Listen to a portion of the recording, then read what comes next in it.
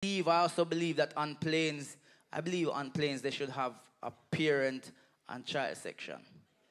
Like, don't get me wrong, I, I have a child. I have a child, you get me? So, I, I, yes. But they should have different sections, just like how you have the economy class. Basically, the one who we just can't afford to fly. then you have business class, the people who have a good job and want to show off. But half the time of them company I pay for that. And then the people that travel up in a first class, the idiot them who pay four or five times the amount that we pay to reach the same destination.